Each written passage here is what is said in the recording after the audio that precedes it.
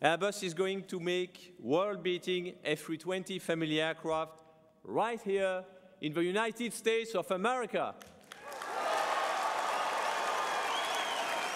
We are going to operate a great, big, state-of-the-art factory right here at Brookley Aeroplex. And we are going to create jobs. We are going to bring investment and we are going to generate economic growth right here in Mobile, Alabama.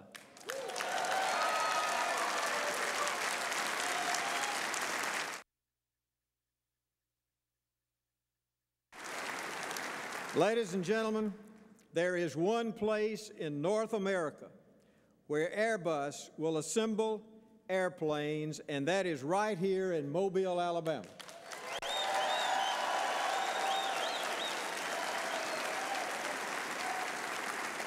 The planes built here in Alabama will soar through the skies all across the world.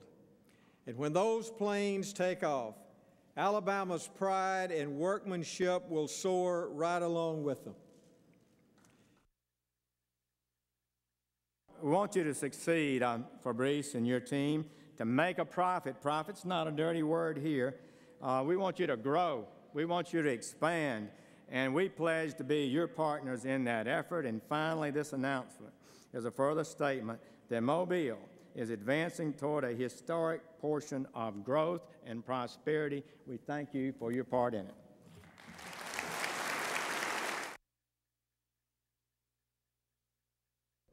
Airbus will now transform the entire Gulf Coast into a new corridor of aviation excellence. The world's largest commercial jetliner is joining hands with a region of America that is the epitome of persistence and resiliency.